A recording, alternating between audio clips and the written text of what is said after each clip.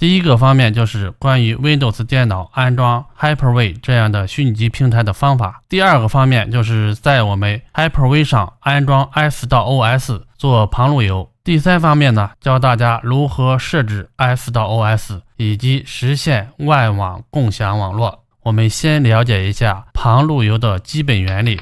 那么我们的旁路由是通过旁路由的 LAN 口接到我们的主路由的 LAN 口。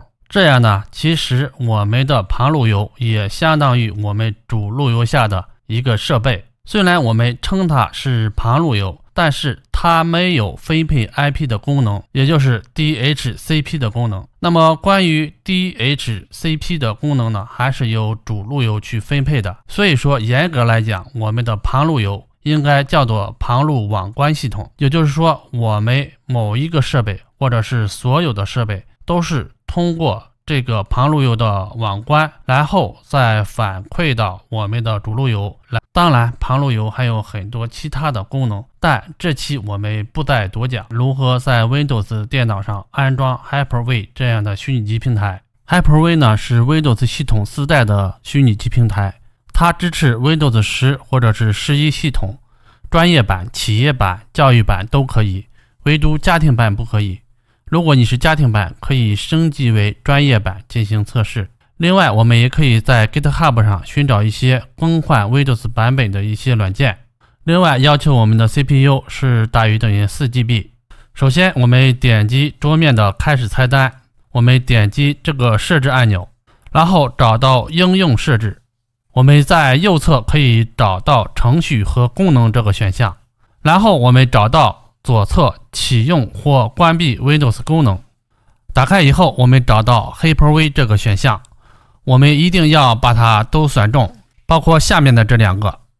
然后我们把这个 Windows 虚拟机监控程序平台选中，以及数据中心桥接和虚拟机平台这两个选项也选中。选中以后，我们点确定。这时候呢，你的计算机会要求你重启。那么你就等待重启一下，便生效了。重启以后，我们可以在开始菜单的搜索栏看到我们的 Hyper-V 管理器。打开以后，它是这样的。那么它是一个虚拟机的管理平台。那么我们还要有虚拟机的系统安装的上面才可以运行。那么我们平时说的软路由的固件，包括 S 到 OS、OpenWRT，还有爱快等等，这些固件呢，其实都是 Linux 系统。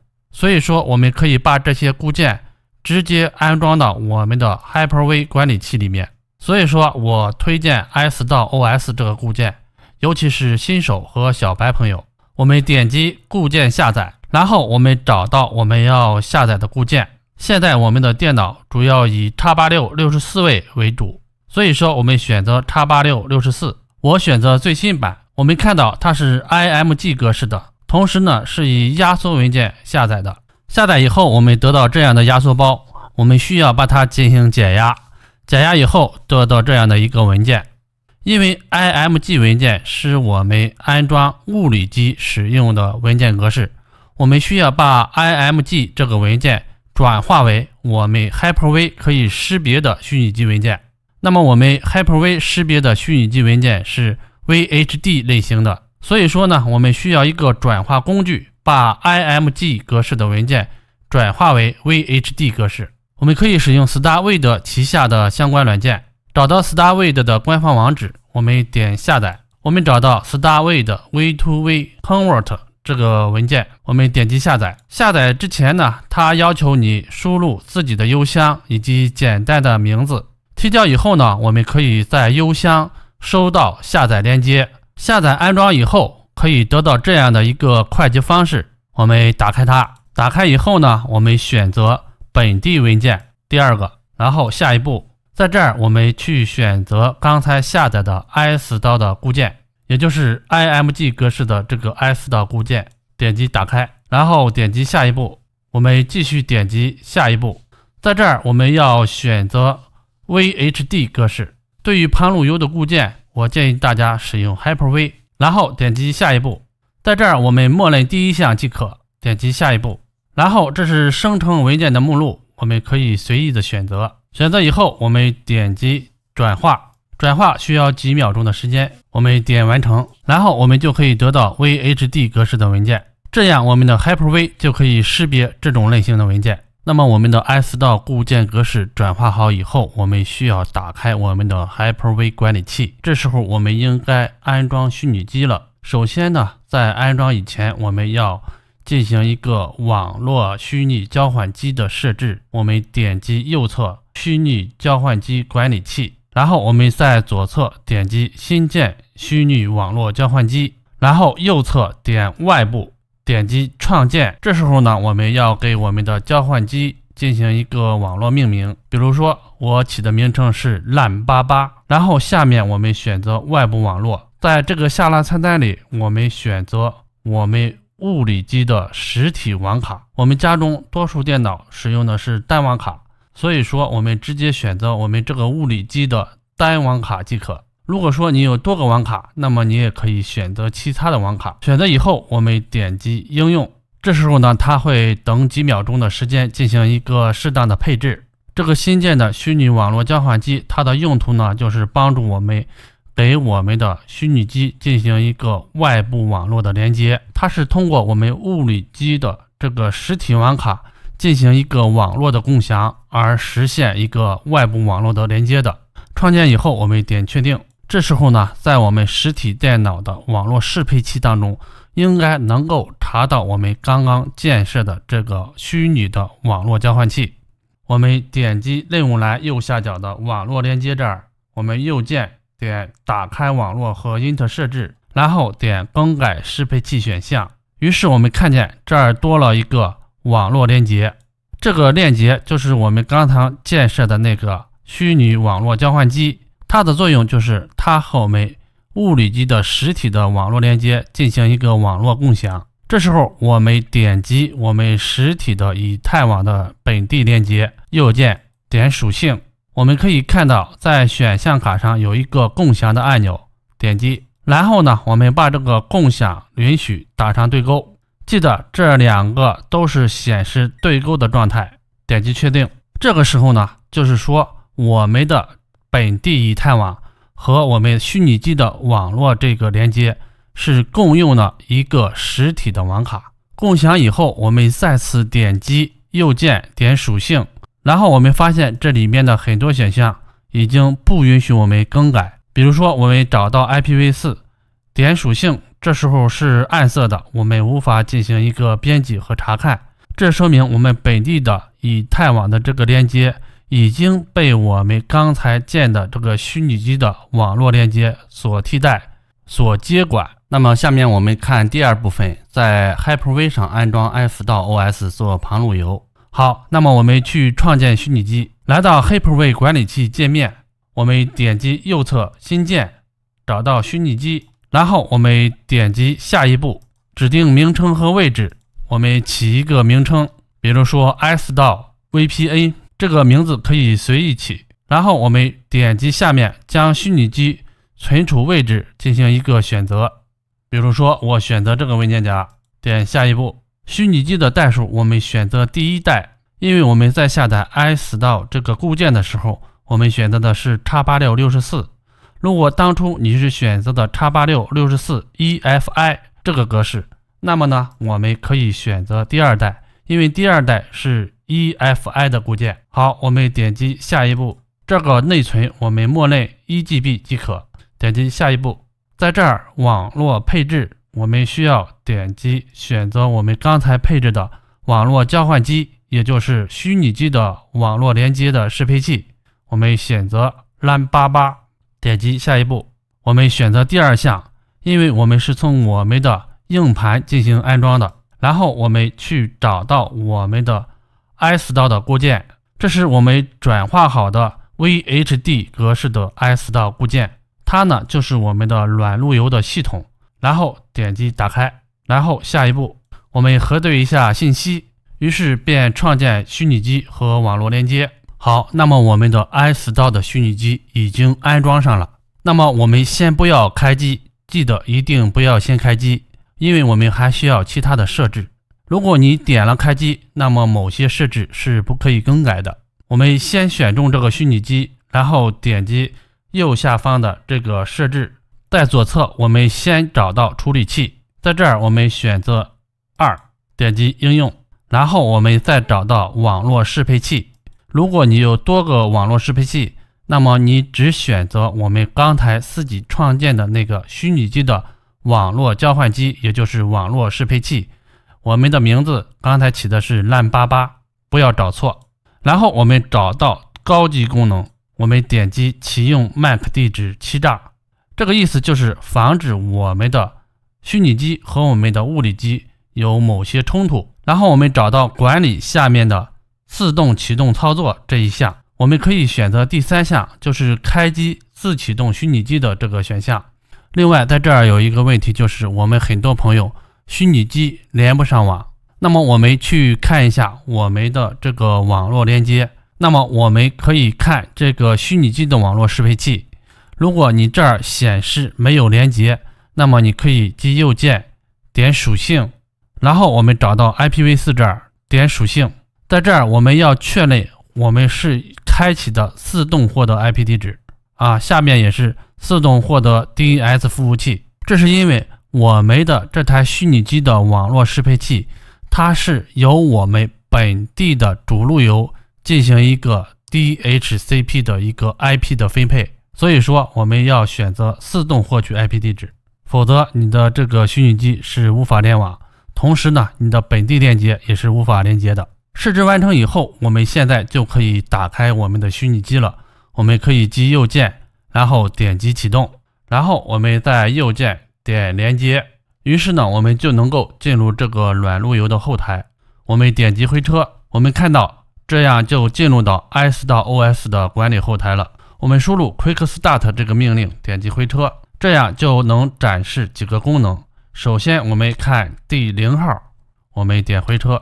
我们可以看到，我们的这个软路由的 IP 地址是幺九二点幺六八点零点幺零二。因为在之前我们已经设置这个软路由的适配器是自动被分配 IP 的，所以说它的前三段和我的主路由的 IP 是一个 IP 段。如果不是，那么你一定要手动把前三段改为你的主路由的前三段的 IP 地址。那么怎么更改 IP 地址呢？我们看。第一号，也就是第二项，change line IP，回车，在这儿我们可以输入自定义 IP。输入过程中，值得注意的是，我们这儿前三段 IP 要和你的主路由的 IP 一致。那么第四段是自定义的 IP，点击回车，然后输入死亡源码，死亡源码默认的是二五五二五五二五五零，点回车，这样的软路由的后台管理地址。也就是这个 IP 已经设置好了，然后呢，我们点击第四号，也就是退出关闭。最后呢，我们不要忘记重启软路由，也就是我们输入 reboot 这个命令，这样呢，我们就可以关闭这个界面了。我们点击上侧的这个关闭，关闭以后呢，我们打开浏览器，输入刚才设置的 IP 地址，就是幺九二点幺六八点零点幺九九。这样呢，我们便进入了这个软路由的管理后台。默认账户是 root，然后呢，密码是 password。登录到软路由的后台，也就是 S 到 OS 的后台。那么接下来就是关于 S 到 OS 的相关设置。第一次登录 S 到 OS 呢，我们首先要点击左侧网络向导。我们这期视频呢是走的旁路由，我们点击配置为旁路由。然后呢，我们点击第一个自动配置。如果说我们确认我们的主路由开启了 DHCP 服务，那么我们可以直接刷新第一项。如果第一步成功了，那么我们看第二项，直接点自动填写即可。然后点击保存设置。一般情况下，我们这样就会自动的设置完毕。然后我们点击左侧的网络，点接口。这个接口我们第一次登录，可能这儿有很多的接口。啊，但是大部分都没有用，我们把其他的全部删除，我们只留一个烂口，然后我们点击右侧的这个 LAN 口的编辑，然后我们看到是常规设置，常规设置下面呢，我们可以把协议修改为静态地址。其实刚才自动配置已经把大部分信息帮我们填好了，IP 地址是这个我们也可以在这儿修改软路由的 IP 地址。修改以后，我们需要重启，下次登录要按你的新的 IP 地址去登录后台。死亡掩码是二五五二五五二五五点零。这个 IPv4 网关呢，幺九二点幺六八点零点一，也就是主路由的 IP 地址。下面这个广播地址呢，这个也是自动生成，你可以空缺，也可以把这个第四段改为二五五。然后我们看一下高级设置，在高级设置里面呢，前两项是选中的，然后 DNS 服务器我们可以不选择，下面呢基本上都是默认的。DHCP 服务下面有个常规设置。因为我们的 DHCP 服务呢是以主路由啊来分配 IP 的，所以说我们旁路由的这个 DHCP 呢，我们要把它关闭。因为在同一个局域网内，只有一个路由器能够分配 DHCP 就可以。如果说两个或两个以上，有可能会出现一些冲突，我们把它忽略此接口。然后我们看高级设置，高级设置这儿也是我们把 DHCP 这一项去掉。然后我们再看 IPv6 设置，这里面的设置呢，我们是默认禁用即可。然后点击保存。好，我们的接口设置完成以后，我们再看网络下面有一个防火墙，我们点击防火墙。然后我们打开四定义规则，我们需要在这里面加一行代码，我们拷贝这行代码。然后呢，我们拷贝到这儿。呃，这行代码的大体意思就是说。我们的数据在我们的旁路由处理以后，它会有一个自动的数据伪装，呃，让其他人呢发现我们的这数据还是从我们的主路由经过正常发送的。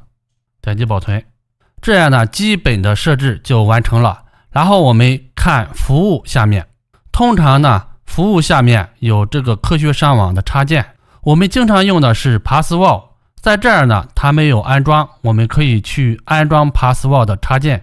首先，我们点开 iStore，也就是这个商店，然后我们点击手动安装。我们在这儿可以上传下载好的 Password 插件，这是插件的下载地址。我们选择第二个，呃，下载完成，然后我们去安装。我们点击这儿，点击打开，然后就会显示这样的进程。当这个代码跑完以后，右上角这个红点会变绿。在这儿值得我们注意的是，我们在安装的时候，我们要打开我们的代理 VPN，因为我们的这个 S 道还没有安装上网的节点，所以说呢，它不能够上外网。在它的功能实现以前，我们要打开我们的 V2Ray 或者是其他的代理软件都可以。否则呢，我们这个下载安装的过程有可能会失败。前面一些步骤也是需要我们打开 VPN 的，然后我们关闭它。我们再次打开服务，我们看到 Password Two 已经安装上了。打开 Password Two 以后，我们看这儿有一些设置，因为这方面的知识我们可以在网络上搜索到很多，所以说呢，强哥就简单的为大家演示一下。我们在这儿点击添加。然后在这儿可以自定义这个机场名字，比如说青森。然后这儿是订阅地址。然后呢，我们点击保存并应用。这时候呢，我们点击手动订阅，回到这个节点订阅。我们再次选择手动订阅全部。于是呢，它就有订阅的信息，还有订阅的节点数。随后呢，我们打开节点列表，在这儿我们便看到我们所有导入的机场的节点。然后我们再打开基本设置。基本设置里面，我们可以先把主开关打开，然后这儿我们可以选择节点，比如说我选择日本，然后我们点击保存并应用。这个旁路由上网的方式呢有多种组合，其中常见的就是三种，常用的是两种。我们先看方式一，就是我们的主路由打开了 DHCP，旁路由呢关闭了 DHCP。这也是我们刚才旁路由关闭 DHCP 的这个原因。然后呢，我们局域网，也就是主路由下对单个设备手动设置网关，就是说我们的设备单独的设备可以设置网关，把这个旁路由的这个 IP 地址作为这个设备的网关。那么以我们这个电脑端为例，我们可以右击下面的这个网络链接。打开这个网络核心特设置，更改适配器选项。因为这台电脑呢，我已经被我们的虚拟机托管，所以说我们点这个网络链接即可。如果你是其他的电脑，就直接选你的本地的这个链接。我右击点属性，点 IPv4，下面有个属性，我们点高级。第一项 IP 设置下面有一个网关设置，我们可以添加一个网关。这个网关呢，就是我们旁路由的 IP 地址，幺九二点幺六八点零点幺九九。这样呢，就保证我们这台电脑的设备的流量会经过旁路由。然后呢，我们最好断开一下网络，再重启一下。同理，我们的手机也是可以在我们的手机端进行一个网关的设置。那么我们再看第二种方式，第二种方式呢，这个和方式一是一一样的。然后呢，我们在主路由后台把网关默认设置为我们旁路由的 IP，也就是说，把我们主路由下的所有设备统一。把他们的网关设置为旁路由的 IP 地址。具体操作是这样的：我们打开我们的主路由的后台，密码呢，一般情况下是在你的主路由的盒子上面。